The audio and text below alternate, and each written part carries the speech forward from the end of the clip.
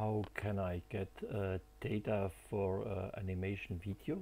Uh, for this I have the photographer object, this camera, and uh, I create such an object here and I move it into the manager uh, group and now I see here uh, there is an output directory in default is stamp animation but I also can change this path on other uh, operating system uh, and I have the possibility to change the direction of the camera. Uh, in this case I use uh, the view. That means what I see on the screen should be uh, also used to create the photos and now I have to start the animation. Here uh, I have the animation directory I started.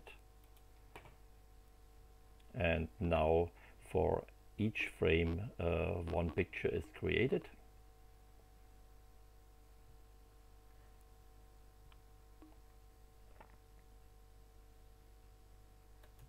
So okay and now I can go into the, the directory and can open a picture viewer and in this case I only can use the cursor uh, keys to move through the video and it's always possible to use such a selection of uh, images to create uh, a video. This is not part of FreeCAD, but uh, you can use any kind of video editing software.